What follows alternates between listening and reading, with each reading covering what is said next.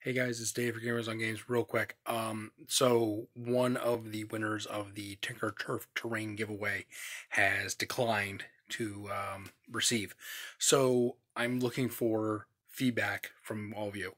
Do would you prefer that we just um, uh, pick another winner or another potential winner from the entrants that have already been listed, or would you prefer that we actually do a whole new giveaway? Um, leave it in the comment section. Thanks, guys. Bye.